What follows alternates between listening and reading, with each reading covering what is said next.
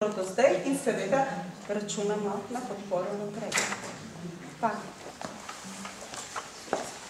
Hvala lepa. Je, eh, je še kakšen eh, tak, eh, mislim, vsaj predlog za iz, izoblikovanje sklepa? Če ni, oziroma če še razmišljate, bi jaz dala še en predlog sklepa in sicer to je pa, ta je pa prišel z vrst, moram reči, bolj raziskovalne sfere eh, slovenskega jezika in slovenskega jezikoslovja. Namreč eh, v naši državi se res dogaja tudi to, kot vidite eh, zadnje leto, da pač se ustrezno ne ovrednoti in ne podpre jezikoslovne vsebine, ki nastajajo in so tudi uporabljane širše. Ne? To je sicer medijsko kar odmevno, ampak mislim, da je stanovsko društvo tudi med prvo poklicanimi, da se tukaj oglasi in da je občni zbor za to, da to potrdi oziroma še dopolni. Gre za to, da recimo samo predlog Slavistično društvo Slovenije, ki združuje učitelje slovenščine in drugih slovanskih jezikov na vseh stopnjah šolanja in študija, se odločno zavzema za to, da naj se javna sredstva, javna sredstva dodeljujejo dejansko, dejansko nastalim vsebinam na področju slovenskega jezika in jezikoslovja. Z vidika današnje politike javnega sofinansiranja je nedopustno, da ostajajo vsebinsko temeljni jezikoslovni projekti denarno nepodprti. E, tukaj moram dodati še nekaj v zvezi s tem, da e, na RRS-ju lahko opozarjam, pa še vedno je to na nivoju opozarjanja, pa gre že v leta, v leto in pol, če sem natančna, da je treba ločevati e, vedo jezikoslovje tudi od čistih, nujno potrebnih tehnoloških orodij, ki podpirajo to vedo. Da ne bo pomote, jezik je edino področje, to moram povedati tukaj vsem, kar vas je zbrano, ki je kot. In kot kot je vabljiv seveda širše za informatiko. To je osnovno sredstvo upravljanja, tudi v informatiki. In zato ni čudno, da je jezik bil med prvimi na udaru, ko se, so se začela področja informatike in jezika, jezikoslovje zelo stikati in prepletati. Ampak to ni nič narobe. Interdisciplinarni eh, pristop je seveda zelo zaželen. Ampak znotraj vrednotenja deležev raziskovalcev na področju tehnologije, pa na področju raziskovanja jezika, bi pa morale agencije kot javne inštitucije narediti razloček v financiranju in ta sredstva lepo porazdeljevati ne, med ljudi, ki delajo na programih, ki podpirajo določene jezikoslovne vsebine, tiste jezikoslovne vsebine pa nastajajo seveda eh, druge. Ne? In gre za to, da obe ustanovi potrebujejo denar, samo je treba enostavno eh, to, s tem se soočiti. In eh, zdaj, tukaj je treba razumeti, da je ni do tega, seveda, državi. Ne? Državi je ljubše, da to lepo združi skupaj v eno, v eno, v, v eno skupino in da je potem, potem za njih to olajšano financiranje in po možnosti zreducirano s tem, ko vse skupaj združi. Ne? Ampak jezikoslovje pa je seveda tukaj glede na, na pospešen razvoje tehnologije, kar je razumljivo spet, ne, nekako vedno, eh, vedno eh, bom rekla, okrnjeno, predvsej okrnjeno. Jaz sem kolege na znanstvenem svetu vede zadnje leto upozarjala, da bodo na udaru tudi druga področja humanistike. Zaenkrat je to jezik. Kot, kot rečeno, jezik je zelo vitalna zadeva kot kot in je res v prvem planu povsod s črkami in tako naprej imajo pravka, vemo, povsod, tudi informatiki in tako naprej. Skratka, to je res osnovno naše sredstvo.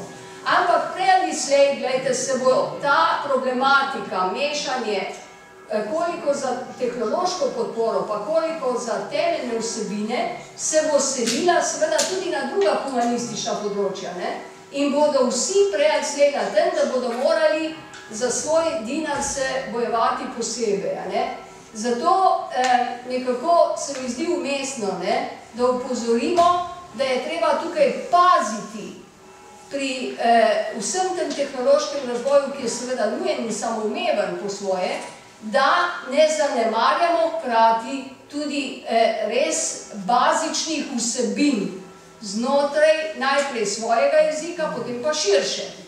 Ne? In tukaj gre predvsem za jezik in jezikoslovje. In to moramo kot stanovsko združenje seveda biti v prvih vrstah, da se to podpre.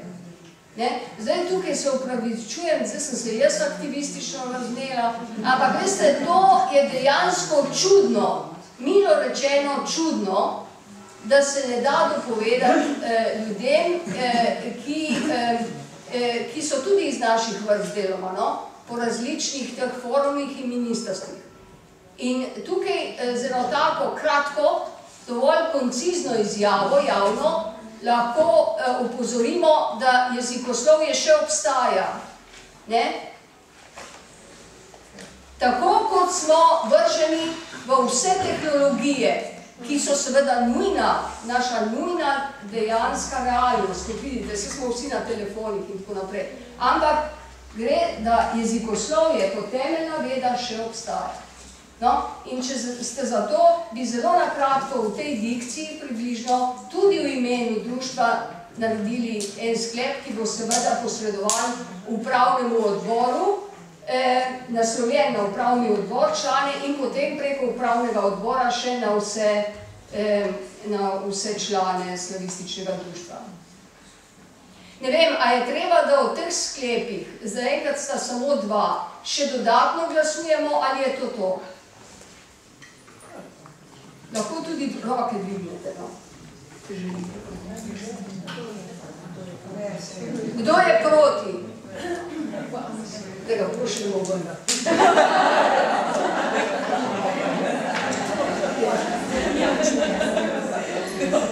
Se keca, malo keca. No, eh, torej, eh, eh, sedaj pa, če dovolite, preidemo še na druga poročila, torej, moje, eh, moje poročilo mora biti eh, eh, vsaj v grobem podano, zato mi dovolite, kljub temu, da sem vsa ostala poročila eh, eh, eh, preložila, tako rekoč na, eh, na oddajo, eh, eh, da povem, da zadnja tri leta, seveda eh, pred tem zasedanjem, smo zasedali, kot ste sami lahko ugotovili, samo po en dan, cel dan in da so bila vsa zasedanja po vrsti po Novi Gorici v Ljubljani. E, začeli smo z jubilejem Slavističnega društva Zveze e, Društev Slavističnega društva Slovenije z 80. To obletnico v Ljubljani, potem smo nadaljevali, da vam samo spomenim, sležim, 40-letnico pokrajinskih društev, se spomnite, mislim, mimo grede, da oba ta dva, lep pozdrav, da oba ta dva eh, biltena, ki sta bila ob teh priložnostih izdana, sta kar dragocen pregled. In zato se vam še enkrat zahvaljujem vsem, ki ste tukaj pri teh dveh biltenih sodelovali, zelo sta uporabna, ker smo takrat res ste se potrudili, da smo zbrali neke vrste preglede no, eh, delovanj, eh, torej za 80, za 40 letnico, potem pa je sledilo obdobje, bom rekla, eh, slovenščina v prevajalstvu, v eh, en, eno, ena, eh, torej en dan je bil posvečen, torej slovenščina kot eh, jezik prevajanja. Mislim, da je bil eh, tudi kar zanimiv, če se spomnite, da osvežim, in pa seveda tisti tudi najbolj živ slovenščina kot vsebinski učni predmet in slovenščina hkrati, hkrati kot učni jezik. Če se spomnite, to se pravi, imeli smo en posvet tudi, kjer smo združili problematiko slovenščine kot učnega jezika, ne? in pa seveda hkrati ste imeli tudi eh, problematiko eh, predmeta slovenščine. Ne? Ste razpravljali o različnih, torej bile so okrogle mize, bilo je eh, nacionalno, eh, ne vem, problematika eh, nacionalnega preverjanja znanja v osnovnih šolah ne, in pa matura. E, tako da to so bili zadnji posveti pred e, letošnjim in mislim, kljub temu, pogledajte, res nismo bili prav neč izletniški, če se tako ekspresivno izrazim, v tem smislu, da nismo imeli neč ekskurzij, pa neč tega, ampak mislim pa, da tisti dnevi so bili eh, samo po en dan, posebno ta zadnji, ne, da je bil, ja, da je bil zelo eh, intenziven. No? Eh, zelo intenziven eh, torej, posvet o maturi, posvet o, o, o nacionalnem preverjanju znanja, ko smo povabili kot veste, tudi iz eh, eh, Zavoda za šolstvo predstavnice. Mislim, da eh, so bili ti posveti zelo živahni in tudi, eh, mislim, da kar učinkoviti, no, do neke mire. No. Eh, ja. eh, eh, druga, druga stvar, revije, ki delujejo znotraj eh, društva. Tukaj moramo meniti, eh, eh, da slavistična revija ima kar en tak kontinuum, v tem smislu, eh, da ni bilo izdajanje nikoli prekinjeno in da izhajajo po štiri številke eh, letno, kar je v redu in v bistvu omogoča potem en, en, en normalen pretok znanstvene periodike.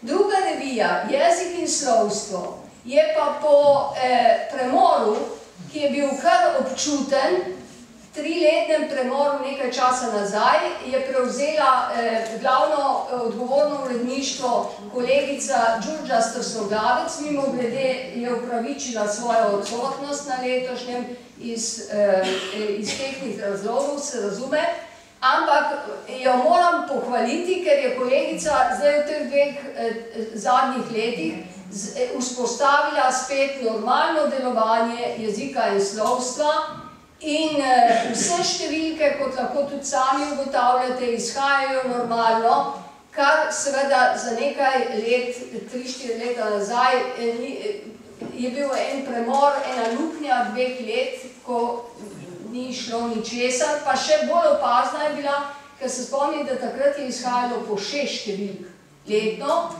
No, zdaj jezik in slovstvo izhaja po štiri številke, tako obe reviji, tako rekoč izhajata po štiri številke letno.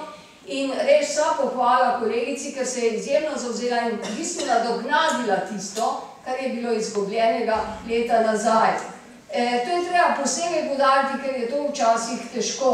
Ne? To je težko doseči, da spet se vzpostavi normalno, normalno delovanje periodike. E, zdaj, glede teh časopisov, moram reči, da smo oktobra 2014 in potem naslednje leto naslovili na šole, na osnovne šole in srednje šole, nek dopis splošen, da bi le vsaj po en izvod šole, pogledajte, naročale za knjižnice. Ampak moram reči, da do tega ni prišlo k večjemu obratno, da še kdaj pa kdaj kakšna šola se odpove tistemu izvodu, edinemu izvodu za knjižnico. In jaz vas tukaj, kolikor vas je prisotnih, vem, da je to skrajno nehvaležna vloga, ampak gledajte, če imate le toliko moči ali pa če imate kakšen dober predlog, na kakšen način naj še to naslovimo, jaz vem, da je šlo to na šole, naslove in eh, eh, tudi na pokrajinska društva, sem pokrajinska društva ne morejo veliko vplivati na šole. Je šel to apel ravnateljem, da naj ravnateljem, da, da njihove naslove, da naj vendarle eh, omogočijo en fizični, kot se temu reče, izvod eh, jezika in slovstva in en fizični izvod slavistične revije za knjižnice. In eh, bodite malo pozorni, ker mislim, da kot eh, kolektiv, eh, se, eh, vas je kolektiv, če se ne motim, 5-6 ljudi, ne, včasih na šolah, imate pravico vsaj do enega izvoda, ne, redne številke. Mislim, da nekaj drugega, če je to v elektronski izdaji, nekaj drugega pa zamikom, se razume, zamikom v digitalni izdaji, ali pa če imate en izvod dostopen tudi v, v eh, knjižnicah, kar bi moral biti osnovni red. Ne vem, kakšne so vaše izkušnje, no ne bi zdaj, ampak mislim, da je prav, da vsakič to posebej opozorimo. Bi še enkrat poslali. Ja, se bomo morali. Ja, ker mislim, da kljub temu, ne, da eh, je to, ne vem, vsi pravijo, da je, to, da je to en poseben strošek, ampak meni se zdi, da to je zanemarljiv strošek proti drugim stvarem, no, še zmerom. Ker to, a veste, da to bi veliko, pogledajte, s tem bi rešili dve stvari dejansko, ne. E, torej, omogočili bi reviji, bom rekla, boljši status, čisto s tem naročniški status, boljši, ker koliko je osnovnih in srednjih šol na sedanje. In eh, hkrati bi vi prišli do tistega enega izvoda. Ne. Tako da ja, to je vedno znova aktualno, kot vidite. Ne? Tukaj velja. Potem, ja, eh, eh, tudi v poročilih pokrajinskih društev bo izkazala, izkazana aktivnost, področna aktivnost, ki je velika. Nekatera srečanja, kot vemo, primorska srečanja, potem dolenska, bela krajina in tako naprej, da vseh ne našteja, to se pravi, eh, eh, tukaj Tukaj so izkazane kontinuirane torej dejavnosti določenih pokrajinskih društev, kar je zelo v redu, to se pravi neprekinjeno delovanje pri teh srečanjih, ampak to je posebej, eh, letos smo pod, eh, kar se sekcijskega delovanja, eh, kar zadeva sekcijsko delovanje, mislim, da moramo posebej poudariti, da smo imeli pred tednom dni zaključek, Boža, lahko ti tudi poveš, torej tekmovanja všeček za slovenščino, ne, na državni ravni, dve besedi, če ostaniš, lahko sama poveš, da jaz ne povzemam Ja, ne vem, če ste prebirali naslovni klub. Skratka, to uh, tekmovanje, ki je prej potekalo po različnih slovenskih krajih in uh, smo nabrali od tod zmagovalce, najboljše, so zdaj prišli v Ljubljano, v Trubarjevo hišo literature in smo tam imeli torej vse slovensko tekmovanje z naslovom Zlati všeček za slovenščino. Eh, kaj delajo, to so odrasli ljudje in različnih poklicov, različnih starosti, ki želijo nekako spet eh, svoje jezikovno znanje ali preveriti ali razširiti s pomočjo jezikoslovcev, ki potem rešitve iz kratkega pisnega testa skupaj z njimi preverjajo ne? in razlagajo. Torej, rešitve tečejo na ekranu in so sproti razložene. Najboljši potem dobijo priznanja, ki se imenujejo Zlati všeček za slovenščino na tem eh, vseslovenskem tekmovanju. Tisto, kar bi jaz želela spodbuditi, je, da bi se ta dejavnost, okrogla miza ima naslov Dajmo priložnost slovenščini in ima dva dela. V prvem delu informacija o položaju slovenščine v zakonodaji in na različnih področjih prakse, od medijev, šolstva in tako naprej. In v drugem delu to tekmovanje, oziroma ta pisni preizkus z rešitvami. Razvija se zelo živahna debata. Prednost je, da ni online, ne, ampak da je živi stik med ljudmi, ki lahko komentirajo, izvejo za rešitve, zato ali imajo prav ali ne, ali je še kako drugače prav. Skratka, vsi, ki so doslej prihajali na to, so uh, zelo zadovoljni. Rada bi, da bi se tega lotila pokrajinska društva. Resno apeliram, da pridobite koordinatorje za različna društva in jaz sem pripravljena narediti nek seminar za koordinatorje, kako se te reči posredujejo. Ne? Kako v pokrajinskih društvih to dela. E, nacionalno tekmovanje iz jezikovnega znanja je doslej, kolikor vem, razširjeno v Franciji in je zelo prestižno. E, tako da, če se tukaj neko tako gibanje za osveževanje jezikovnega znanja med neslovenisti, odraslimi, sem prihajajo pedagoški kolektivi, knjižničarji, um, upravni delavci, iz gospodarstva. Ne? Torej, če se med te ljudi nekako zaseje, ne? vsaj enkrat v življenju, pa vsakem nekaj časa pozornost na, za jezik, za čisto praktično vprašanje, ne kakšna komplicirana, a ne? da to zelo hvaležno sprejmejo. Torej, to se splača nadaljevati, skratka, zares apeliram na eh, pokrajinska društva. V novem mestu to odlično deluje. Kolegica Jožer Bek je, eh, oziroma Dole, eh, Dolenska Bela krajina, ima teh, teh, tekmo, eh, teh tekmovanj ali okrožnih miz za sabo že nebroj. Ne? Tako da je večina zmagovalcev iz te regije letos bila, ne? ker je bilo največ. 84 udeležencev je bilo do zdaj v naših delavnicah. Evo, ja, no. Tako da mislim, da se to zelo splača. Lahko se prijavite kar meni, tisti, ki bi v pokrajinskih društvih to želeli delati.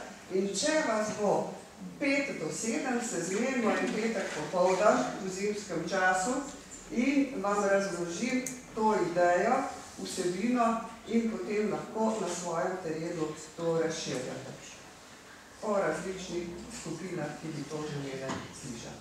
To je pa potem. To je razmeroma novo, ampak eh, če se bomo malo v društvu potrdili, skratka, jaz sem to idejo dobila, ko sem bila predsednica društva, članstvo je osipalo, a ne nekam, bilo je društvo na tem, da vsak ne, in sem rekla, v tem društvu je nakopičenega toliko znanja, da je treba samo najti način, da se to razširja med ljudi in da se društvo s tem nekako v javnosti tudi spet začne pojavljati kot neki pomemben faktor. Ne?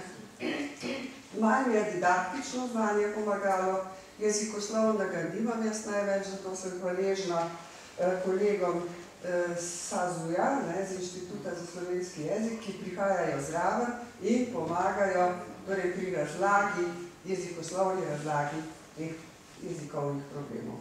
No, na tem tekmovanju je bila kar stroga žirija, uh, Matej Šeki je bil pa predsednica, pa Kozma Ahačič. Tako da smo se kar kregali okrog neke vejce in potiče. no, uh, udeleženci je eno, vsak od njih nekaj drugega, tako da smo morali pol prekiniti z neko arbitrarno besedo. No, tako veste, kako gre. Uh, izkušnja je zanimiva, no, zdaj nekaj takih napovedi za otrok po Sloveniji že imamo. Vas, uh, na vas pa apeliram, da poskušate te koordinatorje, ki bi ta všeček prišli po pokrajinah, pridobiti. Tako, hvala lepa. Hvala, res. Mislim, eh, eh, zabavno je, kako vas vabi, ne? tudi prek takih atraktivnih ne, zadev, kaj se vse tam dogaja, ne? da se tudi žirijo med sabo. Ne? Zato, ja, fino. Lahko tukaj je še nekaj Ja. dodam. Eh, En sklep oziroma predlog z naše eh, delavnice, z naše okrogle mize v Cankarjevem priznanju. Um, in sicer eh, nekako je oblikovan predlog, da bi eh, uvedli nekaj podobnega, kot je všeček v slovenščino za osnovne šole in srednje šole, s tem, da bi pa poimenovali to priznanje, recimo to Polišičevo priznanje. E, tako da, ja, vidim, da je tako. Ampak seveda prila, ja, prilagojena eh, varianta všečka, v glavnem za eh, udeležence izobraževanja. ne, In mogoče bi se to zgodilo. Se to poriši, če bo se ne bo, ne? To ni atraktivno in ne Ne, je prestrogo. Dobro, dobro, se strinjam. Če To bo med dovolite, sklep. ja, hvala. Ja. Če dovolite, tudi eh, Boža omenjala tudi članstvo. Ne? V teh letih se je tudi prek, tega, prek teh aktivnosti razčistilo tudi članstvo. Ne? To se pravi od tistih malo bom rekla, najprej verjetno realnih tisoč pa osemsto članov, a ne. Mogoče so bili res realni, vemo nazaj, ne. Ampak potem dejansko se je prek takih aktivnosti eh, zadeva razčistila in zdaj niha tam okrog 300 aktivnega članstva, kar je, eh, mislim, okrog, ne, 300 aktivnega članstva, ki pa dejansko je eh, bolje, da je tako, pa da je koliko toliko realno, kot da recimo imamo upisano številko 800 ali pa ne vem koliko. Ne. Tako da prek različnih naročnin in tako naprej si lahko mislite, se je z leti sicer rahlo osuvalo, ampak je bolje tako, kot pa da bojimo neke iluzorno, iluzorne zadeve, ki niso realne. E, zdaj pa, ker nas čas preganja že malo za tale najvitalnejši del, torej po zbranih predlogih za, najprej za e, časno članstvo in za priznanja Zveze društev Slavističnega društva Slovenije, smo dobili tale izbor, ki ga bomo danes tudi na večeri s podelitvijo potrdili. In sicer novi častni članici sta eh, profesor dr. Irena Novak Popov, Filozofska fakulteta Univerze v Ljubljani in pa profesor Vera Tutaban iz Trsta. Tudi kolegica, ki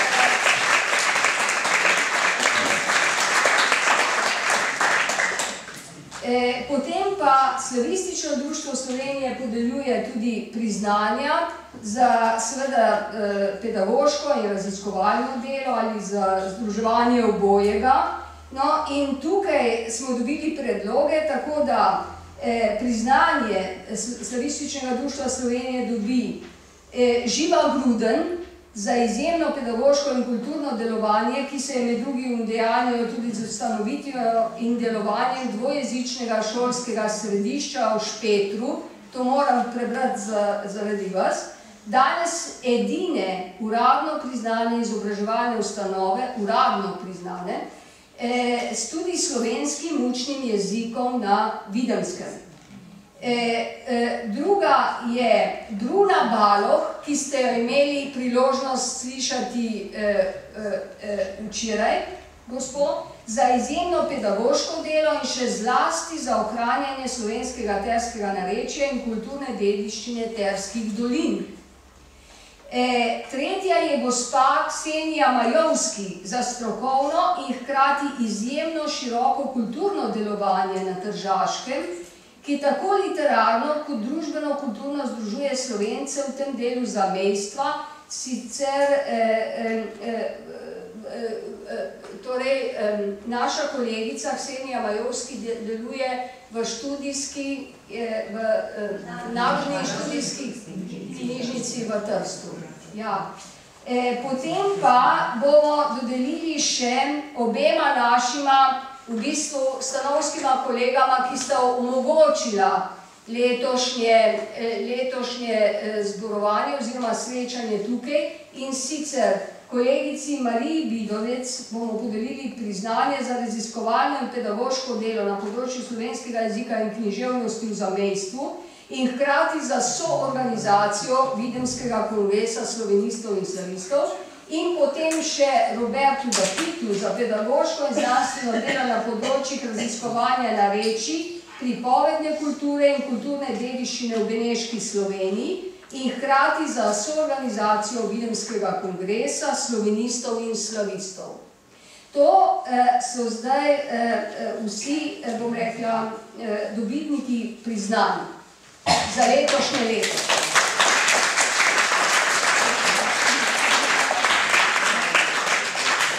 Hvala lepa. Zdaj pa, če dovolite, gremo še na kadrovske predloge, ki so se izoblikovali. Torej, nov izvršni odbor se je tudi prek predlogov in potem že deloma prek uprav, na seji upravnega odbora, na zadnji seji pravnega odbora Zveze društva Slavističnega društva Slovenije izoblikoval in sicer za novega predsednika Slavističnega društva Slovenije predlagamo docent ja, Mateja Šeklija iz Filozofske fakultete Univerze v Ljubljani. E, sicer je kolega, e, torej docent na področju primerjalnega slovanskega jezikoslovja. Za tajnico imenujemo dr. Lidijo Rezoničnik. E, kolegica je sicer, bom rekla, vodilna sila izmed dveh kolegic, seveda je zraven e, e, torej še svoje e, kolegice, e, Nine Zavašnik, sta tudi zdaj vodi sekcije, študentske sekcije znotraj Slavističnega društva Slovenije. In Lidija je pa že pred dvema letoma prevzela eh, torej tudi eh, tehnično uredništvo pri jeziku in slovstvu. Tako da kolegica Lidija Rezoničnik ni nov človek eh, v društvu, nikakor ne, in je v bistvu samo zdaj nadaljuje, eh, bom rekla, še uradno, pozdravljeno še svojo vlogo naprej. Eh, upam, da ne v še razširjenem obsegu, kot ga sicer ima, upam, da ne. No, in kot eh, je red, a ne, v, eh, smo zdaj v dogovoru tudi za blagajniško mesto, ampak kot rečeno, računovodstvo ima dru, društvo, kot vsako društvo, a ne, torej eh, posebej ločeno eh, računovodstvo, moramo pa kljub temu imeti enega predstavnika eh, na blagajniški, eh, za blagajnika, za vlogo blagajnika, No in za to vlogo se tudi že dogovarjamo znotraj naše ustanove Filozofske fakultete z preprostega razloga, ker je blagajn, vloga blagajnika bo ta, da redno spremlja te računalniške, finančne prihodke, odhodke, ne računalniške, računovodske, računovodske prihodke in odhodke in da pač te izpise potem seveda tudi arhivira in da ima redno to v pogled, pač eh, odbor da ima v pogled v, v, v te prihodke. Moram eh, reči, da sem tudi dobila izpis eh, po stroškovnih mestih 20. septembra, za 20. septembra, tik pred tem kongresom, še izpis po stroškovnih mestih, tako da bomo imeli uvid potem v nadaljevanju, koliko je bil, eh, bom rekla, eh, prihodek in odhodek, praktično strošek in prihodek tega konkretnega dogodka v vidnu tridnevnega. E, in zaenkrat, torej izhodišče lepo kaže, vse je seveda pozitivno, zdaj bomo pa upamo tudi seveda v nadaljevanju na pozitivno. E, e, zdaj tukaj nismo, lahko bi, izpisi so bili dani na seji upravnega odbora vsem članom, ki pridejo, dobijo tudi na seji izpis po stroškovnih mestih. E, tako da to lahko dobite, torej tisti, ki ste predsedniki pokrajinskih, kot veste, vedno dobite ta izpisek po stroškovnih mestih tudi na seji upravnega odbora. E, torej, blagajnik, da dorečem, je še v dogovoru konkretno ime. To je izvršilni odbor Zveze društva Slavističnega društva Slovenije. E, zdaj e, rabimo vašo potrditev tega predloga, teh predlogov. Da, to ako izvedemo, predlagam glasovanje.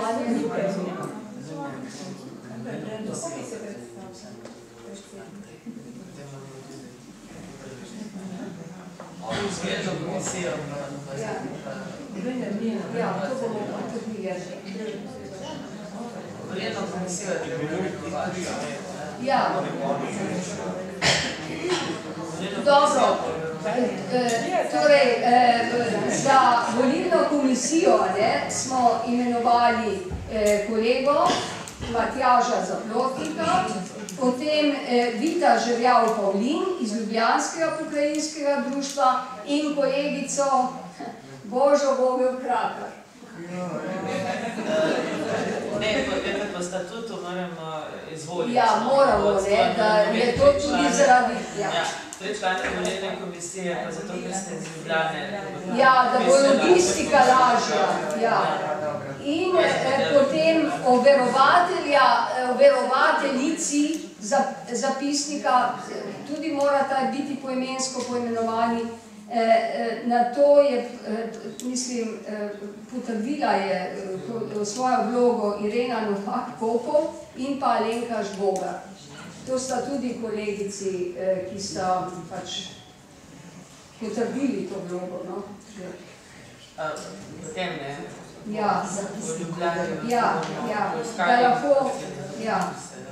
Eh, Zdaj sledi še imenovanje članov nadzornega odbora Zveze društev Slavističnega društva Slovenije. In sicer nov sestav nadzornega odbora je tudi že potrjen na upravnem odboru seje. To so eh, dr. Milena Mileva Blažič, nadzorni odbor je to, dr. Irena Novak Popov in dr. Mojca Nidorfer Šiškovič. To so tri članice nadzornega odbora.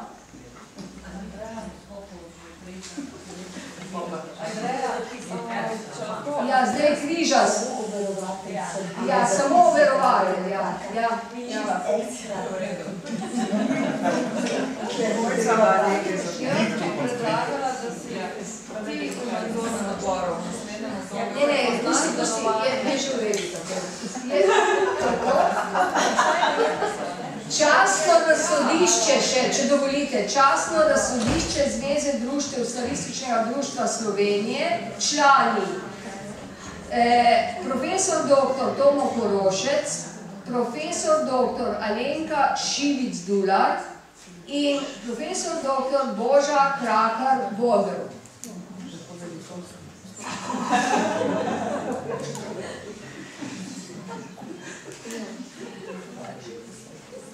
Je častno razsodišče. Eh, jaz mislim vseeno, eh, da bi bilo dobro, da vsaj simbolno, prostite, z dvigom rok potrdimo vse ta poimenovanja, da ne bi bilo tako razumljeno.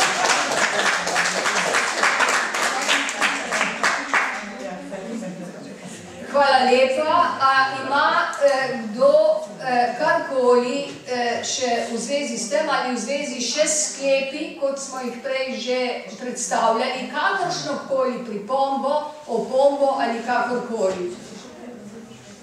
Glejte, to je v bistvu kot točka razno zdaj že, ne? Če bi želeli karkoli pripomniti na vso vsebino današnjo, ste vabljeni še k pripombi. Prosim. Ja, jaz imam eh, še en dodatek in sicer eh, zahvalo sedanjemu izvršilnemu odboru, ki je vestno in prizadevno delal eh, dva mandata eh, in se res zahvaljujemo kolegici Andreji, ker se je tudi javno dosti oglasila v zvezi s kakšnim strokovnim problemom in to zelo prepričljivo. Skratka je dobro zastopala slavistično društvo tudi navzven. Eh, Seveda se zahvaljujemo pa tudi Petri in Matjažu, ki pa nista eh, bila eh, samo njena dva mandata, ampak tudi moja dva mandata. Torej nekaj, nekakšen eh, testament, testament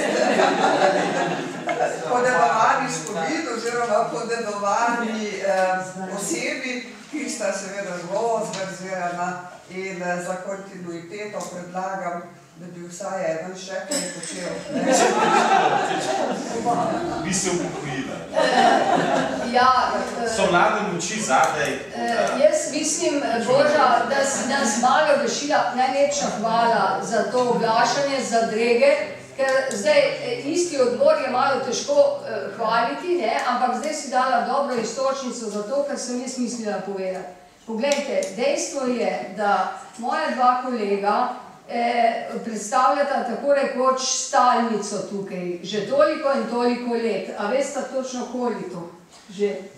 Jaz sem sem 12, torej kolega že 12 let, Petra 8 in eh, to, kar je zdaj Boža rekla, ne, to je eh, bistvenega pomena ta njun eh, dolg stalež v tem smislu, da eh, eh, vsaki od nas na novo pride, tako rekoč, se na njih obrača, si lahko mislite, glede vse te logistike in glede vsega tega. In tukaj mislim, da so taki ljudje tako rekoč posta, postanejo s časoma nenadomestljivi, skoraj da kar je groza, ne?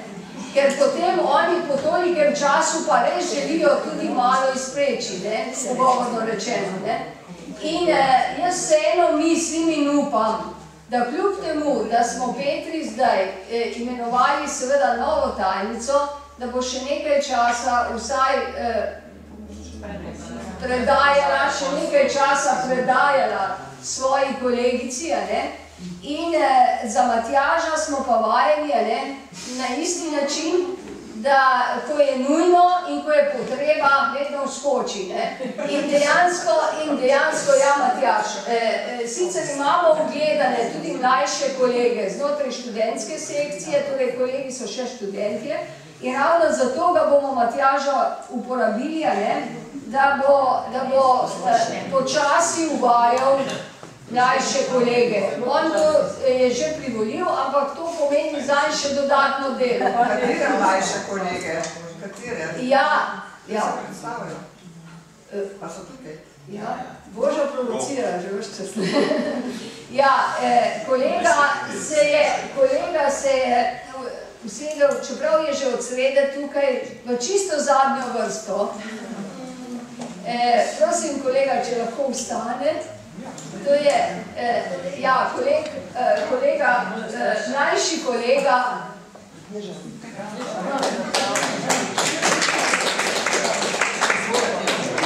Ja, ja, zdaj tako, ne, kolega, naš kolega z inštituta se je predstavil, ker je zares čisto v zadnji, zadnji vrsti, ne, ne ve pa o tem čisto nič. Kolega pred njim, Rok Matič pa o tem precej ve. To je pa eh, torej kolega iz študentske sekcije in je eh, že ve za to, da bo, da bo predavljal spletno stran društva in tako naprej, ampak je malo nekvaležno vnaprej že javno vse napovedovati, kaj bo vse delal. Eh, ampak jaz mislim, ker Ja, jaz mislim, da bo s tem malo olajšana predaja Matjažu, ne, ker smo zdaj javno predstavili tudi kolego, ki bo prevzel del njegovega bremena.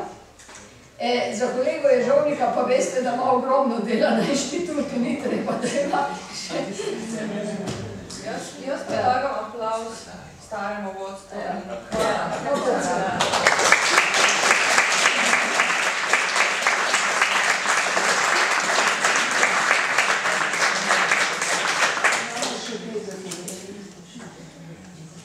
Hvala lepa, da ste se udeležili. Eh, kot vidite, eh, A ja, Matejo, Eh, Mislim pa, da je prav, vidite, tukaj pa šteje kilometrina. Da je to vseeno prav, da se oglasi, vsaj oglasi novo imenovani predsednik.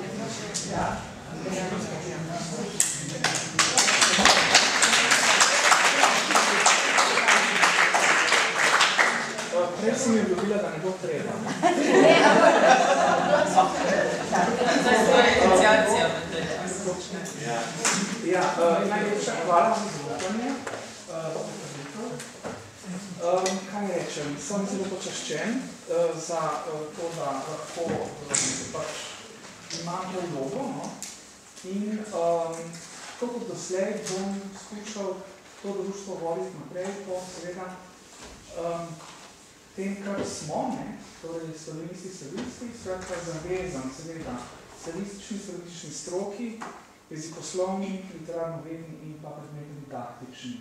Mislim, da je to mora biti našo vodilo, mi smo stroka, um, da uh, o vseh zadevah, ki se tičejo seveda slovenščine in drugih slovanskih jezikov, tako v stroki kot v šoli, odločimo znotraj stroke. In ne morda, recimo, v katerih, na katerih drugih mestih, v kakšnem rumenem ali pa nerumenem eh, tisku, ne? zdaj se nam spet mogoče obeta spet neka afera, boste zdaj za nekaj dni mogoče, jaz eh, nekaj sem že namiknil, tako da mislim, da smo mi stroke in da moramo stvari, ki so povezane stroko reševati znotraj stroke. Ne? Hvala. Thank you.